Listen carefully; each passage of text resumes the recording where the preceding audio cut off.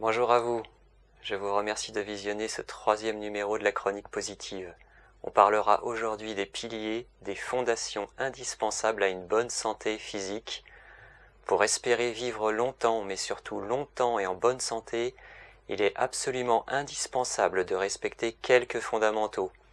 Vous avez en effet le choix soit d'être comme ces personnes qui à un âge avancé, même parfois centenaire, continuent de vivre une vie riche, continuent à pratiquer du sport, à garder un esprit clair et joyeux, soit d'être comme ces personnes qui à un âge encore jeune sont déjà des vieillards physiquement et mentalement.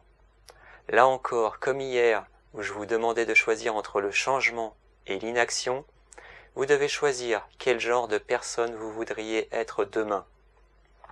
Si comme je vous le souhaite, vous choisissez de vieillir en bonne santé en menant une vie épanouissante et inspirante, alors vous devez prendre la décision de mettre en pratique les cinq piliers d'une bonne santé.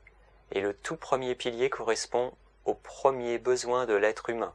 Pourtant, très peu de gens y prêtent vraiment attention et pourtant, si vous oubliez pendant deux minutes de mettre en pratique ce pilier, vous êtes en danger de mort.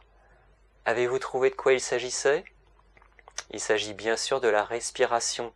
Je suis sûr que beaucoup n'y ont pas pensé et pour cause cette action automatique du corps humain nous fait oublier combien il est pourtant vital.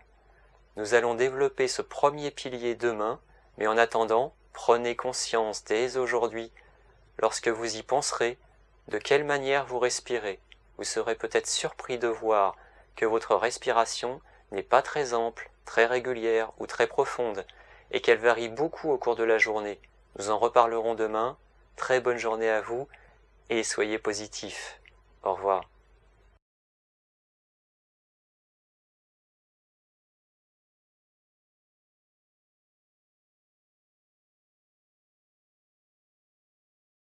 Música